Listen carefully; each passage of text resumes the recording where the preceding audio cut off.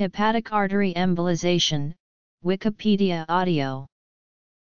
Hepatic artery embolization, also known as transarterial embolization, is one of the several therapeutic methods to treat primary liver tumors or metastases to the liver. The embolization therapy can reduce the size of the tumor, and decrease the tumor's impact such its hormone production, effectively decreasing symptoms. The treatment was initially developed in the early 1970s. The several types of hepatic artery treatments are based on the observation that tumor cells get nearly all their nutrients from the hepatic artery, while the normal cells of the liver get about 70 to 80% of their nutrients and 50% their oxygen supply from the portal vein, and thus can survive with the hepatic artery effectively blocked. In practice, hepatic artery embolization occludes the blood flow to the tumors, achieving significant tumor shrinkage in over 80% of people. Shrinkage rates vary.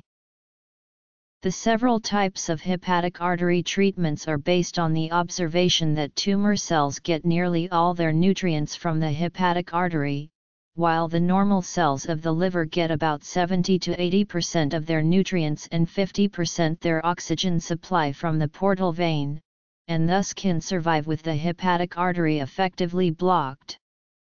In practice, hepatic artery embolization is an option if the neoplastic growth is mainly within the liver. By occluding the blood supply to the tumors, achieving significant tumor shrinkage in over 80% of people. Shrinkage rates vary. The therapy can effectively decrease symptoms by reducing the size of the tumor, or by decreasing the tumor's impact, for example by decreasing the tumor's production of hormones.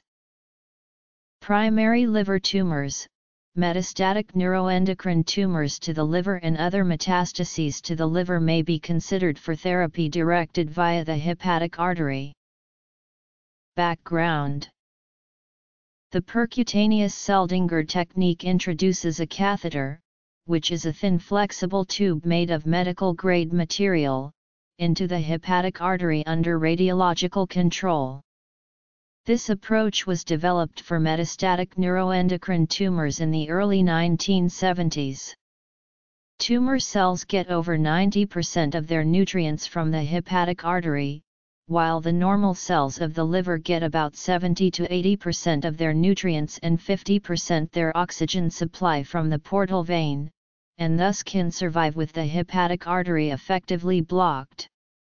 Once the catheter is carefully placed in the artery or in a selected branch, the blood flow can be occluded by injecting various items, such as plastic particles, glue, metal coils, foam, or by deploying a balloon.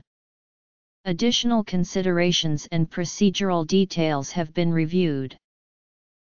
In hepatic artery chemotherapy, chemotherapy agents are given into the hepatic artery, often by steady infusion over hours or even days.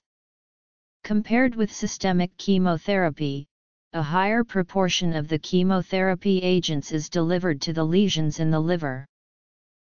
Hepatic artery chemoembolization, sometimes called transarterial chemoembolization, combines hepatic artery embolization with hepatic artery chemoinfusion.